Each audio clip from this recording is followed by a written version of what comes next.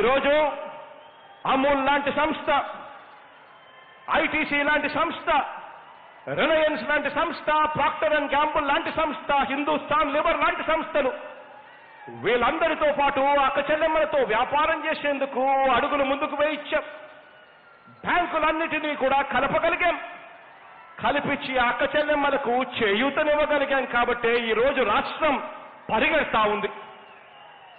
ఈ రోజు జగనన్న తోడు ద్వారా అక్షరాల పదహైదు లక్షల మంది అక్క చెల్లెమ్మలకు ఆ కుటుంబాలకు రోడ్డు పక్కన వ్యాపారం చేసుకుంటా ఉన్న తోపుడు బండ్ల మీద ఉన్న వాళ్ళందరికీ కూడా పదివేల రూపాయలు వడ్డీ లేకుండా జగనన్న తోడు అనే పథకం ద్వారా ఆదుకున్నాం. కాబట్టి రాష్ట్రం పరిగెడతా ఉంది. అడుగులు వేగంగా కూడా రాష్ట్రం వేస్తా ఉంది. మత్స్యకార భరోసా ద్వారా లక్ష ఇరవై వేల మంది కుటుంబాలకు అండగా నిలబడగలిగాం. నేతన్న నేస్తం ద్వారా దాదాపుగా ఎనభై రెండు వేల కుటుంబాలకు అండగా తోడుగా నిలబడగలిగాం. వాహన మిత్ర ద్వారా సొంతంగా ఆటోలు నడుపుకుంటా ఉన్న వాళ్ళు సొంతంగా టాక్సీలు నడుపుకుంటున్న వాళ్ళు అక్షరాల రెండు లక్షల డెబ్బై ఐదు వేల కుటుంబాలకు తోడుగా అండగా భుజం తట్టి మేమున్నాము అని చెప్పి నిలబెట్టగలిగాం. కాపు నేస్తం ద్వారా అక్షరాల మూడు లక్షల యాభై ఆరు వేల కుటుంబాలకు అండగా నిలబడగలిగాం. ఈరోజు చేదోడు ద్వారా రజకులకైతేనేమి నాయి బ్రాహ్మణులకైతేనేమి దర్జీలకైతేనేమి మూడు లక్షల ముప్పై వేల మందికి తోడుగా నిలబడగలిగాం. ఈరోజు ఈబీసీ నేస్తం ద్వారా మరో నాలుగు లక్షల కుటుంబాలకు అండగా నిలబడగలిగాం.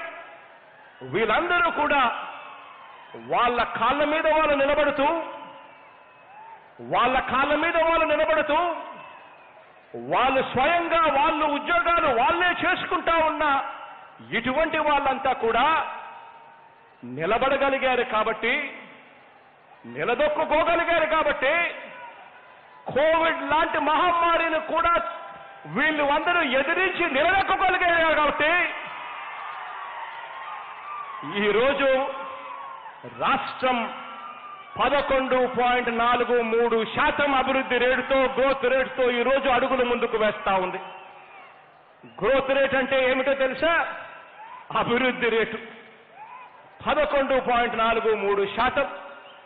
ఏకంగా ముప్పై లక్షల మంది అక్క చెల్లెమ్మలకు దేశ చరిత్రలో ఎక్కడా జరగని విధంగా రాష్ట్ర చరిత్రలో ఎప్పుడూ చూడని విధంగా ఆ అక్క చెల్లెమ్మల పేరుతో ముప్పై లక్షల మందికి ఇళ్ళ పట్టాలు వాళ్ళ పేరుతో రిజిస్ట్రేషన్ చేయించి అక్షరాల ఇరవై లక్షల ఇల్లులు ఈ రోజు ఇల్లులు వేగంగా కడతా ఉన్నారు అనంటే అందులో నుంచి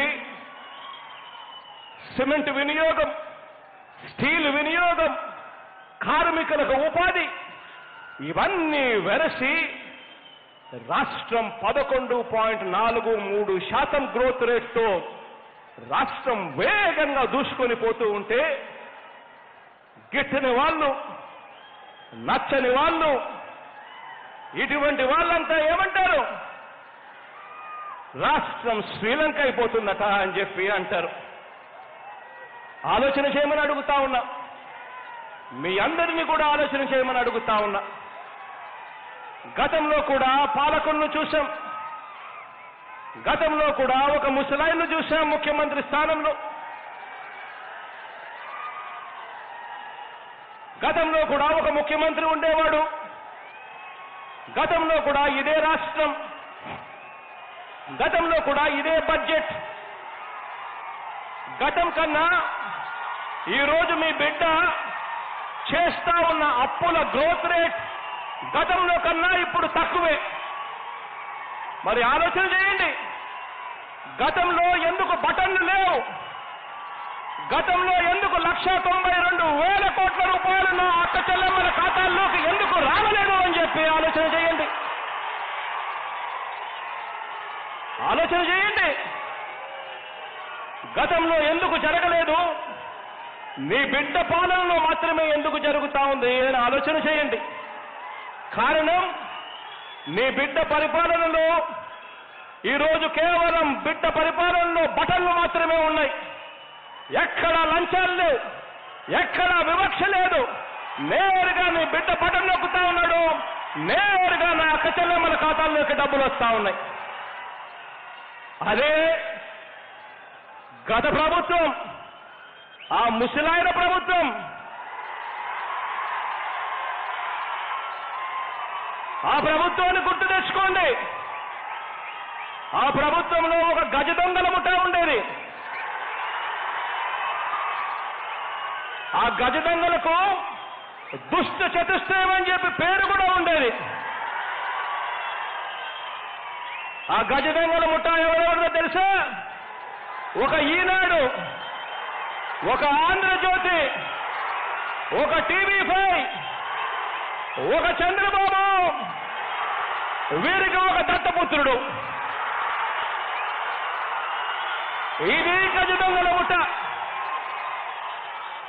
వీళ్ళ స్కీము అప్పటిలో ఒక్కటే. డిపిటి. దోచుకో పంచుకో తినుకో.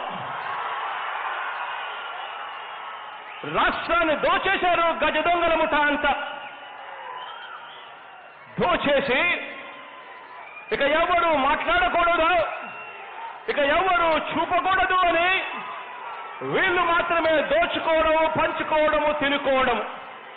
ఇక ఈనాడు రాయదు ఆంధ్రజ్యోతి రాయదు చూపదు.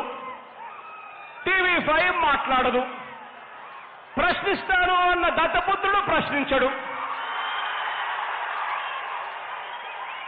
ఇక యథేచ్ఛగా దోచుకో పంచుకో తినుకో అనే పరిస్థితిని జ్ఞాపకం తెచ్చుకోమని అడుగుతా ఉన్నా.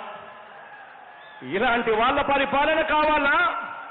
లేదా లంచాలు లేని వివక్ష లేని నేరుగా బటన్లు నొక్కే మీ బిడ్డ పరిపాలన కావాలా అని చెప్పి ఒక్కసారి ఆలోచన చేసుకోమని కోరుతా ఉన్నా.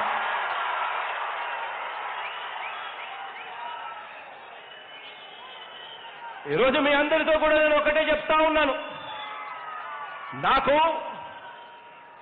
ముసలాయన మాదిరి నాకు ముసలాయన మాదిరి ఈనాడు తోడుగా ఉండకపోవచ్చు. ఆంధ్రజ్యోతి అండగా ఉండకపోవచ్చు. టీవీ పై తోడుగా ఉండకపోవచ్చు. దత్తపుత్రుడు నా కోసం మైకు పట్టుకోకపోవచ్చు.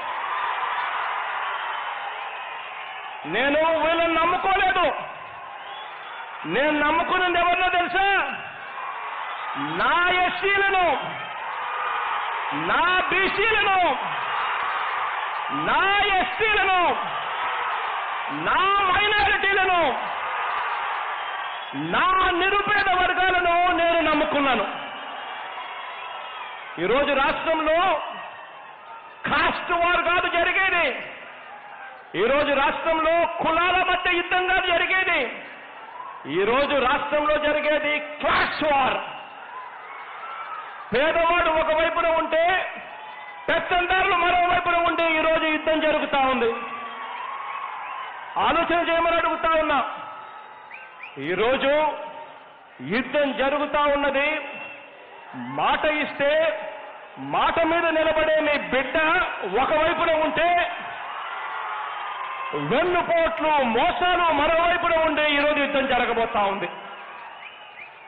ఇలాంటి యుద్ధంలో మీ బిడ్డకు ఉన్నదల్లా మీ బిడ్డకు నమ్మకమల్లా కేవలం దేవుడి దయ మీ అందరి చల్లని దీవెనలు తప్ప మీ బిడ్డకు ఏమీ లేవు అని చెప్పి సందర్భంగా సగర్వంగా తెలియజేస్తా ఉన్నా. మీ బిడ్డకు పొత్తులు లేవు. మీ బిడ్డ వాళ్ళ మీద వీళ్ళ మీద నిలబడడు. మీ బిడ్డ ఒక్కడే. సింహంలో మీ బిడ్డ ఒక్కడే నడుస్తాడు.